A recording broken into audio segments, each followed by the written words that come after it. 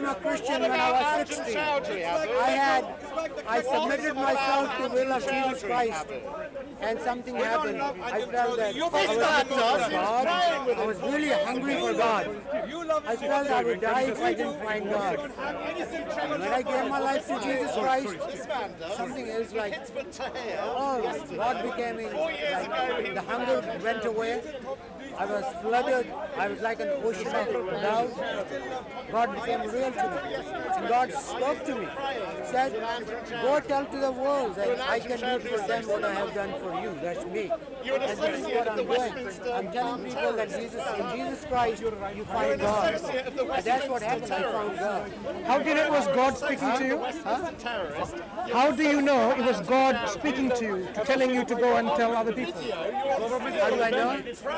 How do you know it was God? You know, it's something. God is all, all loving, all merciful, all powerful.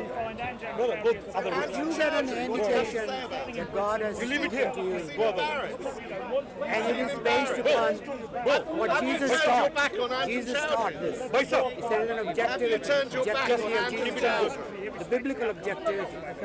So, so that objective fact, I followed that, and then that God became real to me. God revealed Himself to. Yesterday afternoon, So you follow the teaching of Jesus Christ. Christ.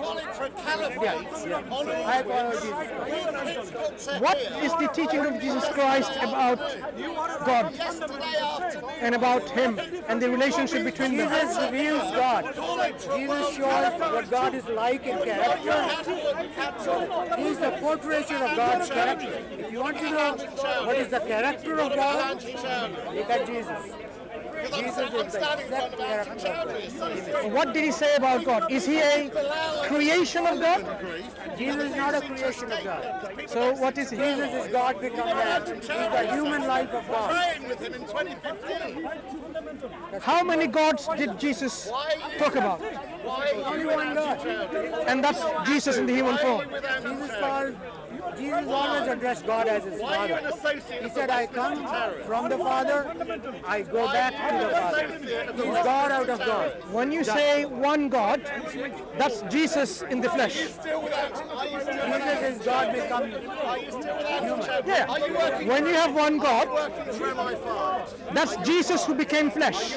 God who became Jesus in the flesh, right? That's Him. You seem to be the only God became Jesus, human being. Yes, yes. So you have God, the one God, Are you on the who inside? became a human form called Jesus. So human form is actually the real human form, and that's the one God, right?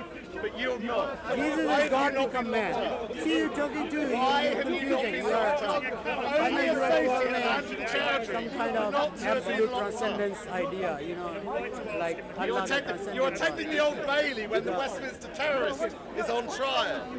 You're standing with Hitler to believe calling for a world from the scriptures, Yes, the New Testament, that God Are you can still with Anjem Choudary? up Why are you so shy? in any way. Why are you so shy?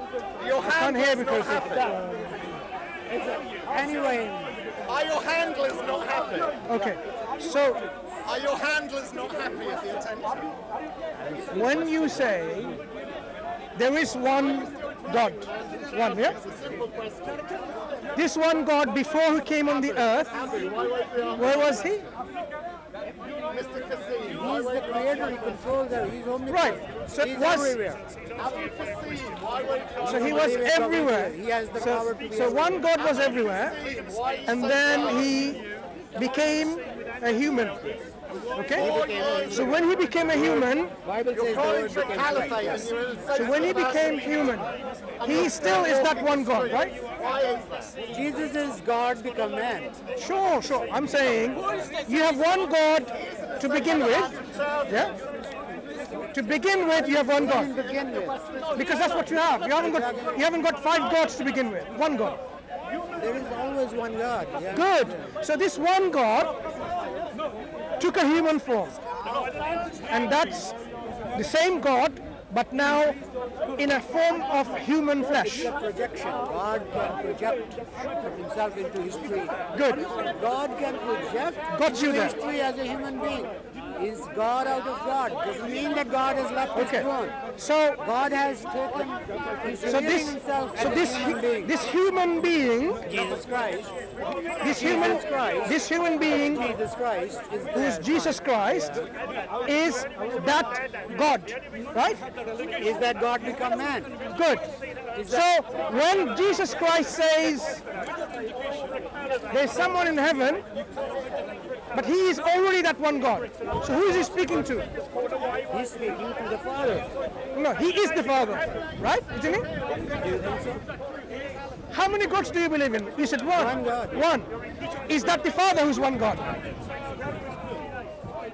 Jesus is the Son of God. So now you don't believe in one God as in one person. You believe in one God in multiple persons. Jesus, Is that right? Well, there is only one God. But how many persons within that one God? See, he reveals himself when, like Jesus said, I come out of the Father. As a human being, he's coming to the earth. We call him the Son. Jesus said he's the Son coming out of God. So of this God. son, this son who's in the human form, is only human and not divine.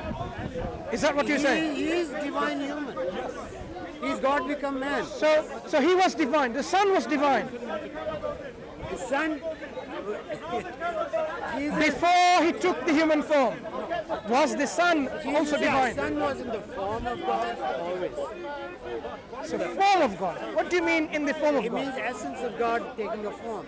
God can Either, do anything. God, either- can, God can take any form God wants. either the son was already God, or he wasn't God before he took the human form. He was. Jesus is the man God. Jesus the, God become man. Look, before he became man, Jesus, before he was became man, the form of God. so he was God before he became was man. God. Right. In the form of God. Good. So I follow you. So Yeah. Jesus, so if we were to talk about God before the universe was created, before he took the human form, how many gods were we talking about? There's only one God. There's one God. Is that the Son, the one God? Again, saying the same thing. There is one God. Yeah. He can take up any form God wants. Before any form was taken. So consider this. At one point, you and I agree this world was not created. Yeah? Do you agree? So we are talking about God before the creation of this universe, before the creation of our world. Yeah? Good. At that point, when you say God is one, is that the Son? God has always existed in any form He wants to. But out of when we say Son, we say Son proceeds from the Father. God out of God. Holy Spirit proceeds out of the Father. Holy Spirit is God. So it is God proceeding out of God. Not three gods. These are just the manifestations, how God manifests. Just one God. Before this universe was ever created, you said there was one God. Yeah? You say that. No, see that question is not correct. My question is not correct for what reason? You don't use time language with God. If nothing was created, you can know nothing about God. Only God reveals. Unless God reveals, So- we can. so- So, you can talk only through what God has revealed to us. If you ask me arbitrary questions, then Why is my you- question wrong again? Clarify. Because you are you are saying that we can have knowledge without revelation. I didn't say anything at Yeah, all. when you said before, No, I am simply saying the universe at one point did not exist, but God existed. then you can't ask anything about God. Sorry, sorry, sorry, sorry. Are you saying God, whether he was one or two, before the uni- Well, God, you before this universe was created? You can't talk like that about God. Can you let me finish this point? Before the universe was created, did God know whether he's one or two? You ask God, see, you were again asking the question. No, no, did he know whether he's one or two? Only God. See, you were asking So- questions that properly belong to God. Fair enough. Okay. So did he know whether he's one or two? See, you are committing a fallacy of a, it's a complex question. When I speak of God in Jesus Christ, I'm talking of the revelation, how God reveals himself. You are talking about pre-revelation. I don't know anything. We cannot know talk about pre-revelation. That's the fallacy the Muslims are always The, committing. the fallacy, And I think, in that. the fallacy, you I think, you know is what? you're making of assumption. Look, I am saying That's not that you we, believe we, that? we, we are not making assumption about who God is. Allah cannot be known, right? I don't know where you're getting this from. So let's Oh, not talk right, about. You're talking about God, right? No, I don't know where you're getting this from. That Allah cannot be known. So Allah is not God. Hang on. No, no, no. Where did you get this from? That Allah cannot be known. Can Allah be known? So you tell me. No, where did you get this from? That's my, uh, so far my understanding of My understanding is wrong. So now you understand my position. So let me come back to the Allah position. cannot be known. No, Allah can be known. Can be known. Yeah, How? yeah. From the creation. Oh, but then, other you knowing only the creation, how do you know creation is like Allah? Who says creation is like Allah? Allah is unlike the creation. So, how can you know from creation? Can this creation exist without Allah? That's a different question. No, that's how we know. So that's how it can be no, known. No, no, you're still jumping from Excuse me. creation to Allah. Listen, is this creation dependent on Allah or independent of Him?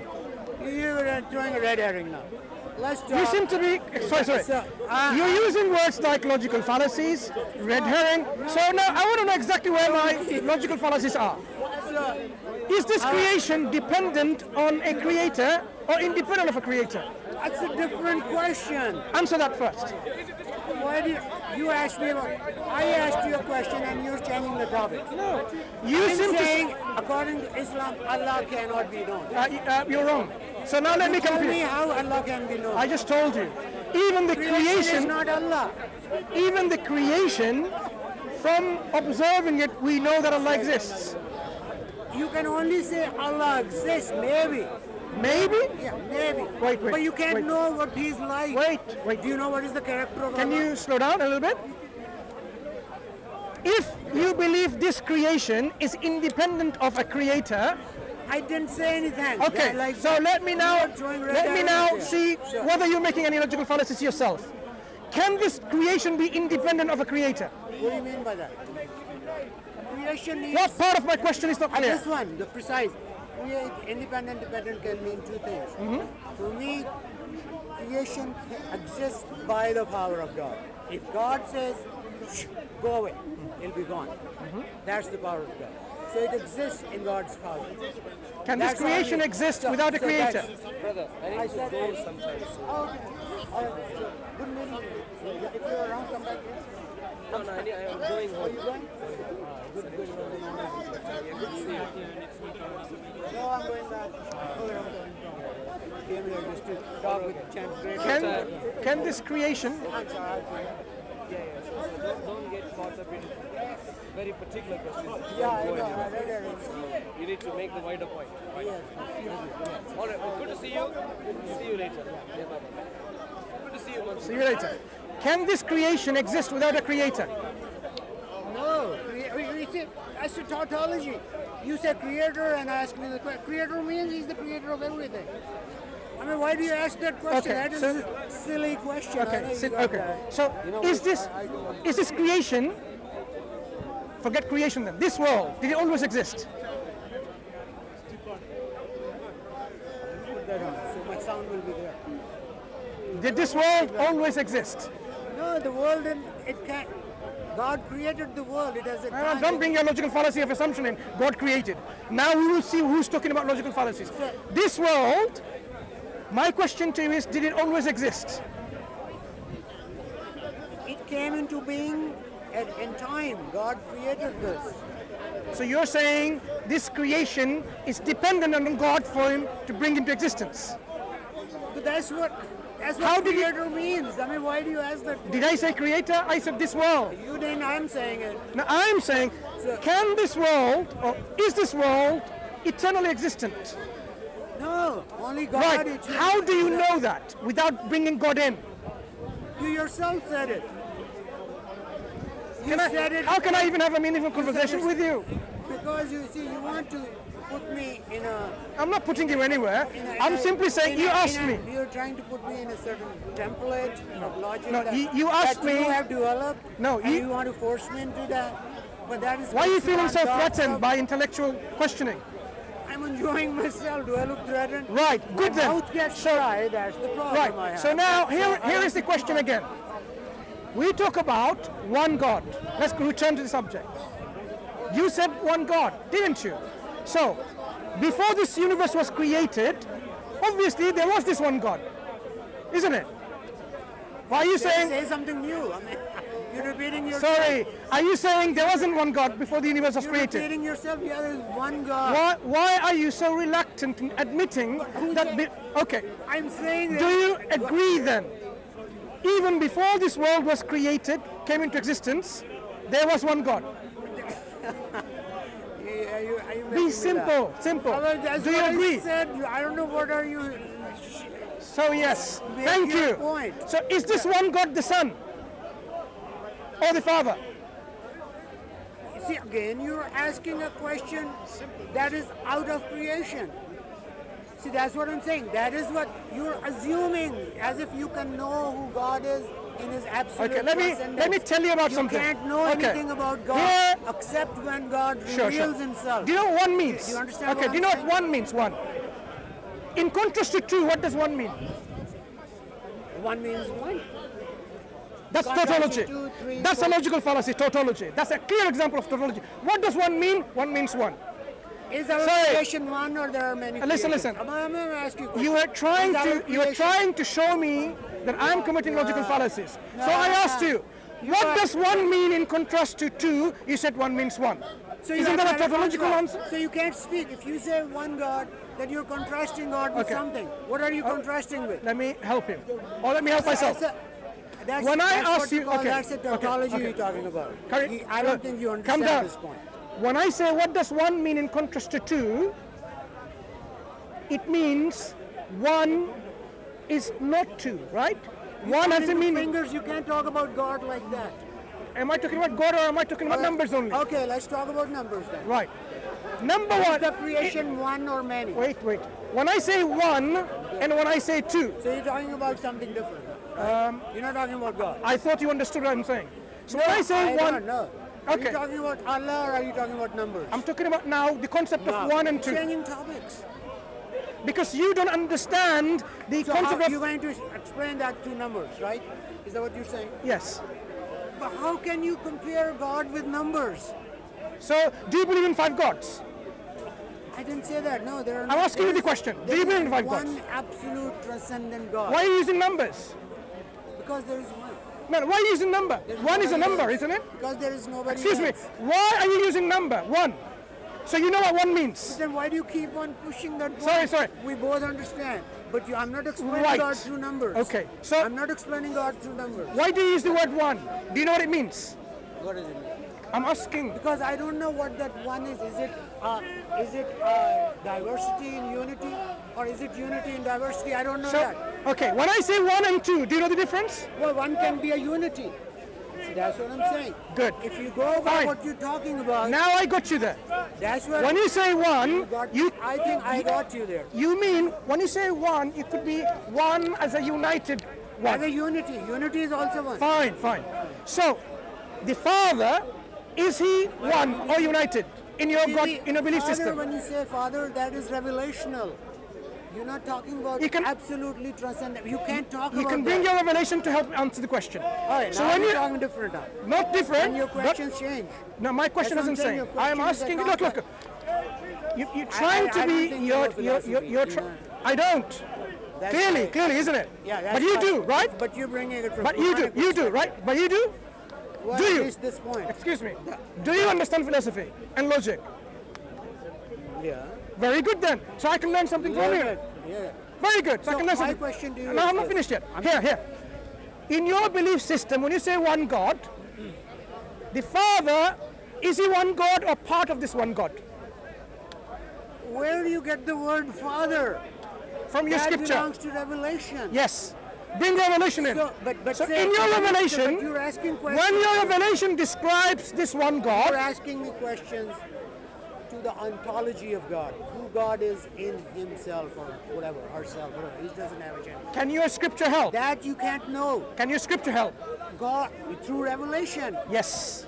God out of God. God takes a form. The form of God. But that's what I'm